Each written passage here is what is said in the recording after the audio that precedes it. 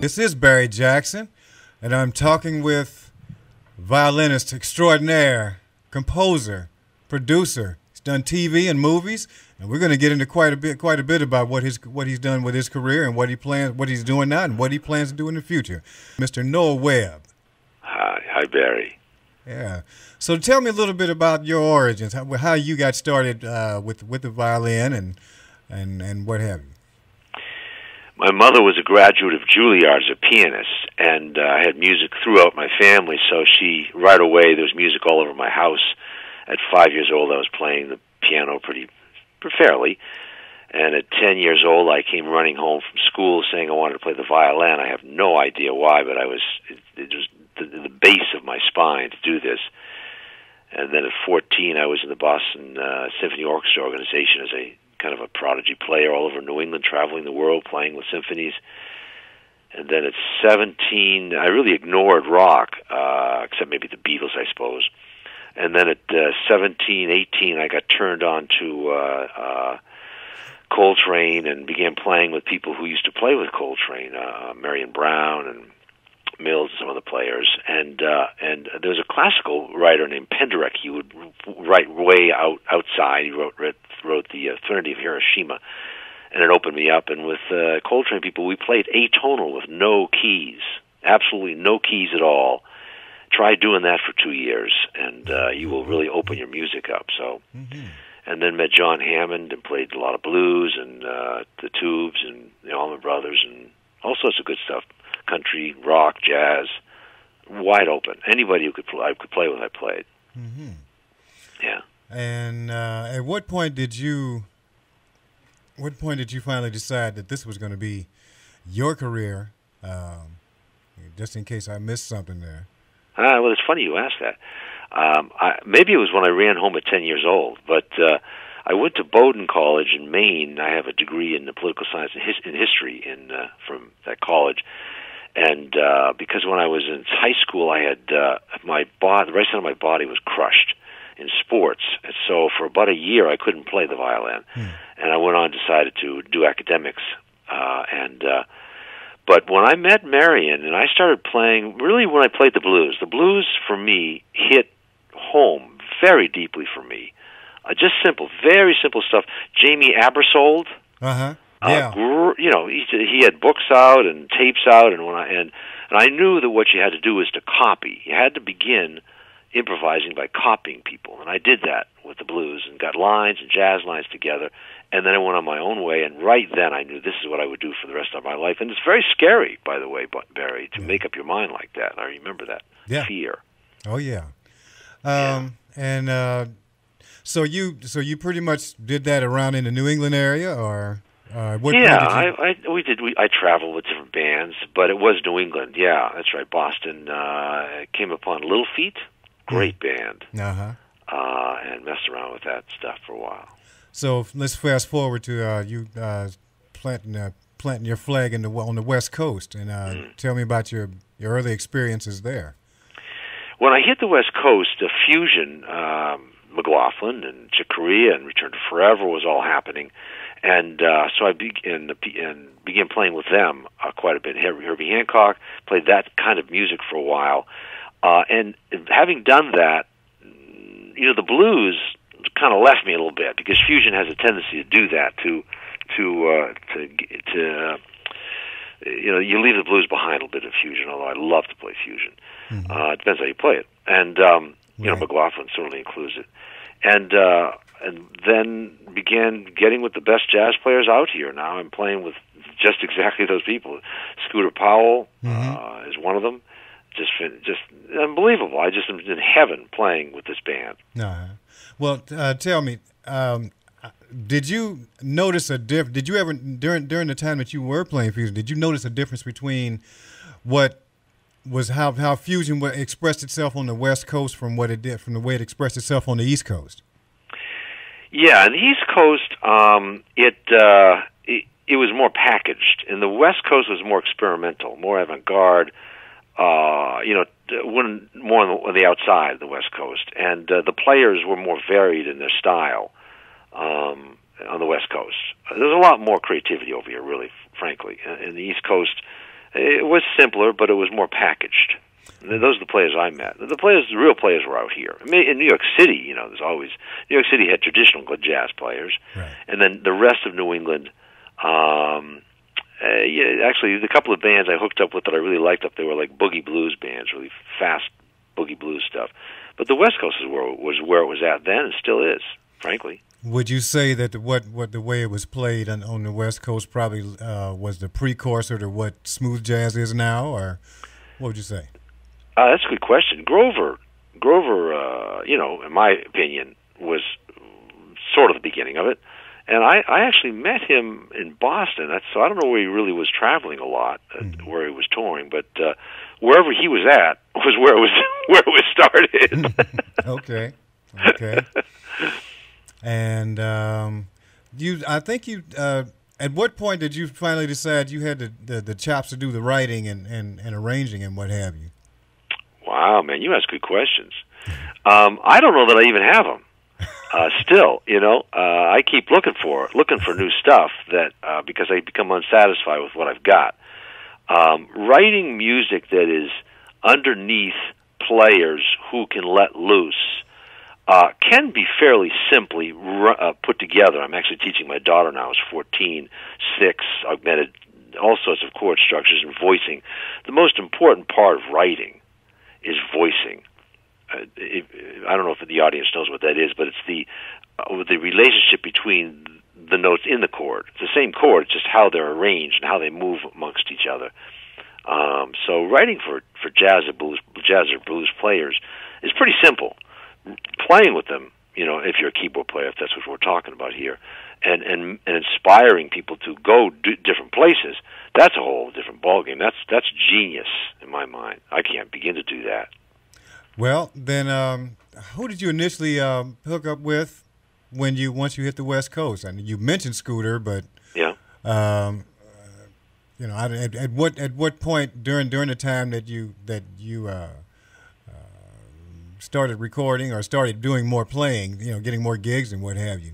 Yeah, I have to admit to you that I began uh, putting together sounds in MIDI in computers Right. because uh, I, I I I wanted to be able to play the most commercial thing.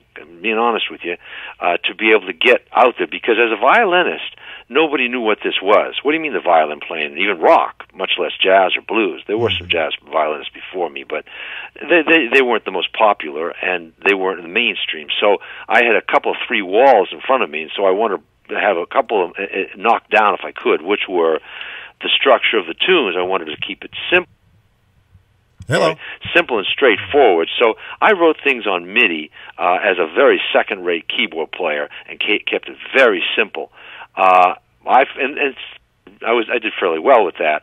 But what what really started kicking it off was when I met a guy named Joel Gaines on keyboard, Brian Price on guitar, uh, P. Bass Jones, and and we began to play together, you know, Mhm. and really make meat happen. Okay. And um, how far then? How far along before you um, met the people that are playing with you now? That takes time. Um, it was probably uh, five years that I was hanging here uh, because you have to prove yourself. You have to go out and play around, and uh, and and you know when they if you if you really play really well, you will go where you want to go. Uh, So um, you just have to keep practicing every day and do what you know he has to happen, and the right cats will come to you. then, um, at what point did you get in, get involved with uh, TV and movie scoring?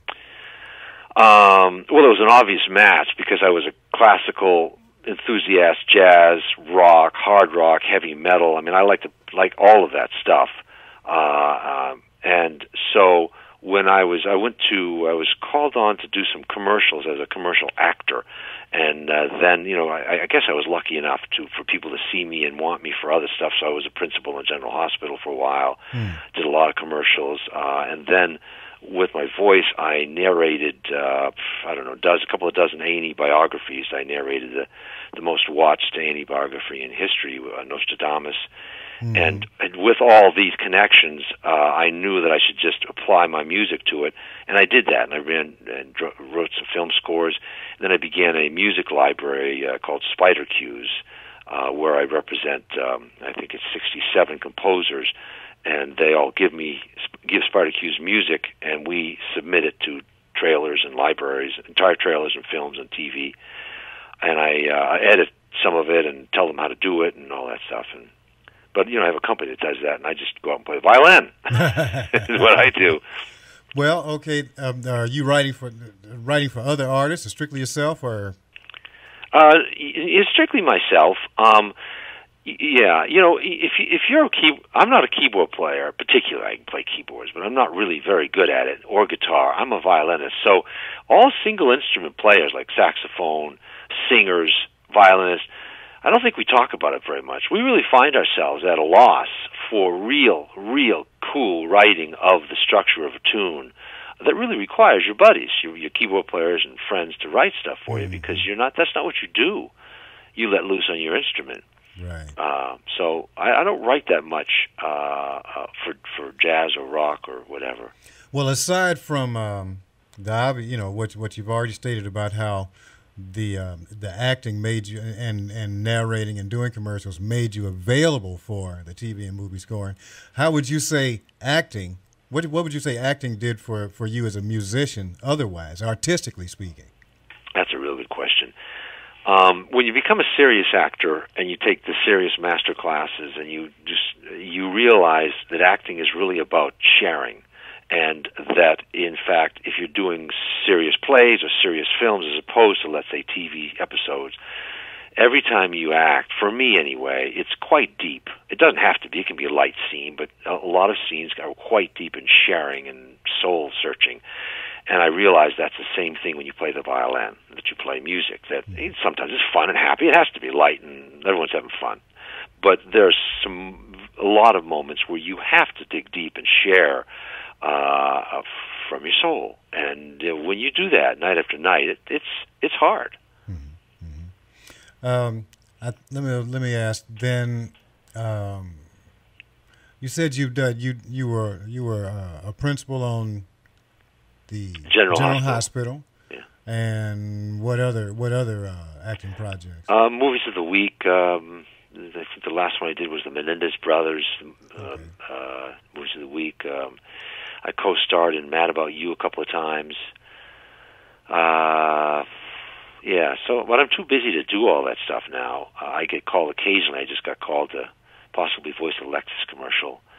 But Mhm. uh, you know, again, I'm just um, my new CD uh, called "Give It All" is out there, uh, selling and doing well, and, and gathering concerts, negotiations. So you know, that's I think I'll be coming to Missouri uh, right away. I hope to uh, do some concerts with this really, really good band. So that's what I do. Now, give it all uh, is your fourth CD, That's right. and let's talk about talk about the, that that evolution from Yeah. the first one to the yeah, fourth th- one. it's it's very different for me. I I had a testimony to everyone around me. I was so in love with performing with this band. It's a seven piece, six piece band, sometimes seven with a, with an R and B uh, uh, singer. Uh-huh. Uh, and uh, and I was so in love with playing it that I s- I wanted that on a CD, the live performance, the energy. Now, when you go into a studio and try and do that, that's not easy, you know. So I sort of sort of half did that as well as uh, the format of uh, of you know playing stuff out, and that CD ma- joined the two together, live performance with a CD that uh, you know with, with with charts that people are following, so to speak. Uh, and it just it's a beautiful job of that. I'm, it, it's just wonderful. I love Give It All. Who would you say was your influences or inspiration on, on as far as uh, contemporary jazz violin?